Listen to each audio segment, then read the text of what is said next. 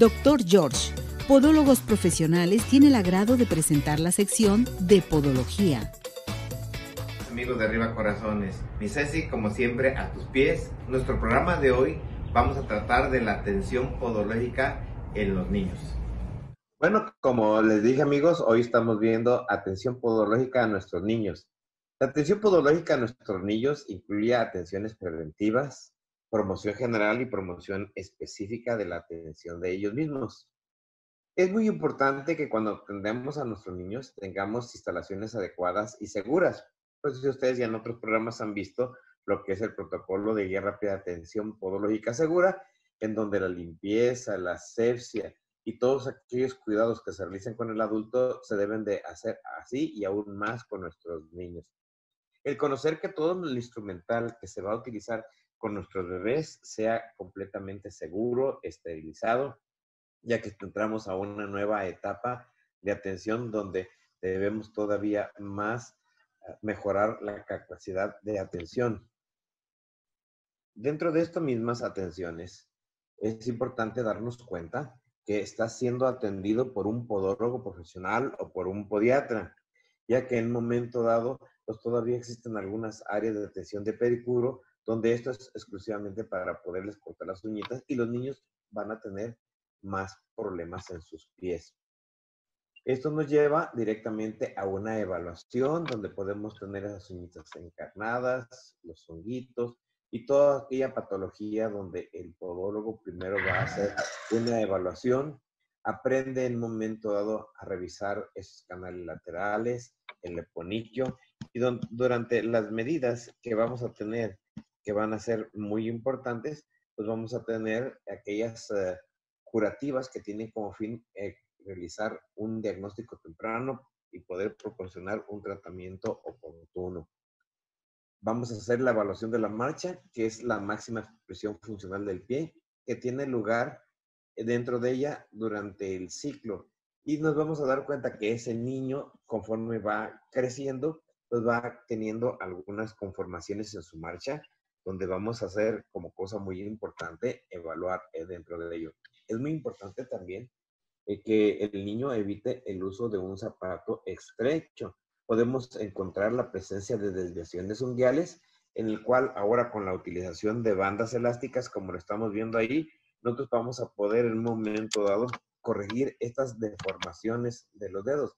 Vamos a utilizar algunos protectores, separadores, el crecimiento de las uñas en los niños es más rápido que en el adulto. Esto hasta cierto punto lo protege de infecciones por el efecto de barrido. Ahí estamos viendo las uñas de unos niñitos, las cuales presentan una leuconiquia. La lámina de los niños es más lisa, transparente y flexible. Por eso cuando nosotros empezamos a ver que esta lámina se empieza a oscurecer, se empieza a hacer escamosa, pues encontramos que tenemos un problema. Tenemos también menor incidencia en traumatismos les en los niños, pero es frecuente que podamos encontrar la presencia de esos onicomicosis o esos hongritos que son también frecuentes en los niños. La presencia de papilomas, ahorita con la temporada, el uso de alberca, el no utilizar un calzado adecuado, bueno, pues nos lleva a esto. Y definitivo, pues las medidas prácticas de un buen diagnóstico y un buen tratamiento, pues nos va a evitar a que en momento estas patologías lleguen a ser tan floridas como las que estamos observando ahí también nos damos cuenta que las uñitas de los niños se empiezan a encurvar y se empiezan a enterrar. Y aquí nosotros tenemos uh, dentro de nuestras imágenes lo que hemos visto con la presencia de unas ortonixias, esos alambritos que nos permiten en un momento de ir corrigiendo esa desviación de las uñas. De las bandas, bueno, pues ya mencioné. Es importante también que en los niños se ocupa una rehabilitación a tiempo nos va a evitar en un momento traumatismo, la presencia de dolores, el uso en un momento dado de aquellas indicaciones para los papás o el uso en un momento dado de instalaciones adecuadas donde se tenga todo aquel equipo podológico específico para los niños es muy importante. Y por último, pues cada vez vemos más algunas desviaciones en los niños, algún hallux prematuro, esos subproductos que no respondieron a las banditas y que en un momento dado vamos a tener que ofrecerles otro tipo de tratamiento. Como ven, en la actualidad en nuestros niños hay mucho que hacer, Por eso es muy importante que en un momento acudamos nosotros a una atención podológica. Y bueno, pues recordarles que nosotros en Doctor George estamos a sus órdenes.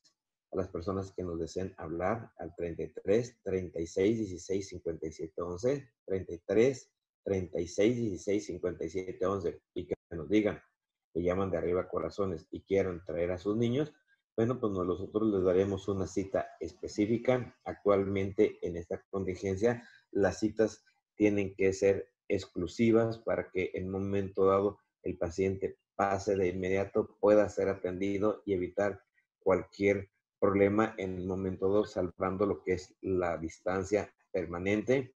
Igual les recomendamos que cuando lleguen van a llegar con su, su cubrebocas, nosotros les vamos a proporcionar si no lo traen un cubrebocas y bueno, si nos dicen que nos llaman de arriba corazones, la primera consulta, si nos llaman el día de hoy o el día de mañana, va a ser sin costo. Si nos llaman a cualquier otro día de la semana, van a tener derecho a un 50% de descuento.